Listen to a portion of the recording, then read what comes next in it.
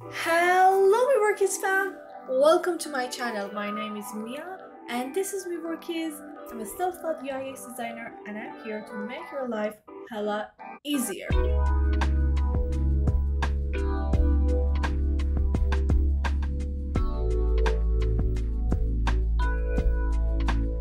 So on today's video, we're gonna go over all of the new Figma features that has been added, how they're useful for you, and maybe on another video we could dig deep in each of them because some of them are a bit hard to learn. Let's get on with this video. Don't forget to subscribe, give a thumbs up to this video, and leave a comment. Let me know what you think. Let's go. The first thing that Figma has added is variables. Variables basically unlike design themes like light and dark mode or mobile and desktop with variables in Figma. This is really cool because you get to list all of these things in this new tool and create dark mode, create light mode, create a really specific color systems and all of that. The next thing is dev mode. So you might think that this is not really for you designers, but it actually makes everything super easy for designers to learn how to code, something like that. If you're interested, it's gonna be useful for you. So in dev mode, you're gonna be able to like see all the transitions from the design to development. It's just a lot of easier because it has all of this different data, it has all of these different plugins you can add, and it's really, really helpful for you.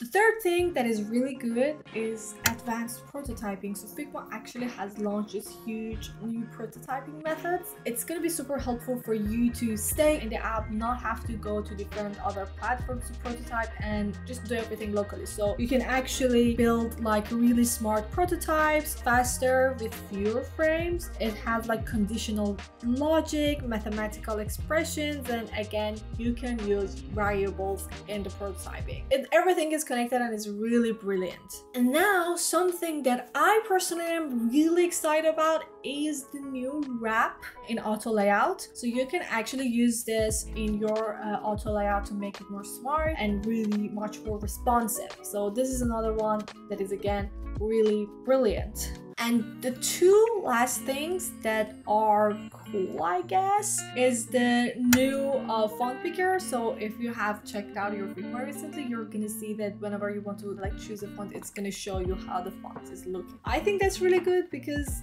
I don't have to like go down on each font on a text and just see how it's gonna look and I love that. The final one is the global search feature. So they've added this new search feature that you can easily use to search in the whole platform. So that would be like in your files, in conversations, anything. You can use the global search and find everything. The layout is a bit different in Figma if you've recently checked it out, but on a general note, it's really good. And the final thing that I've cut my eye that these new features may be brought on are bugs. Yes, sir, we have bugs.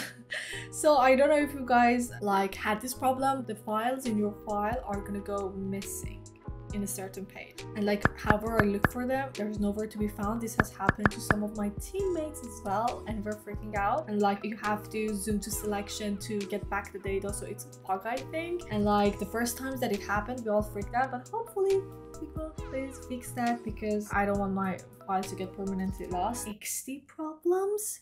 So that's it that's it for this video. I have a link from someone named Molly. I found this on Twitter. They have actually created a playground on Gumroad. You can download it. It's free and you can just use this all of these new features, the auto layout, the variables, dev mode, and just play with it, see how it works, and let me know if you want me to create a video on them. I would probably make a video on variables and the new auto layout because it's just gonna elevate your design on another level. And I guess because it's really new, it's gonna be hard to navigate at first like it was hard for me. So let's get on with that and i will probably see you in the next video. Don't forget to like this video subscribe and leave a comment. Please you're growing really fast here and i'm looking at 1000 subscribers right now. I'm not but i want to be. Subscribe please and i will see you in the next video. Have a nice day and goodbye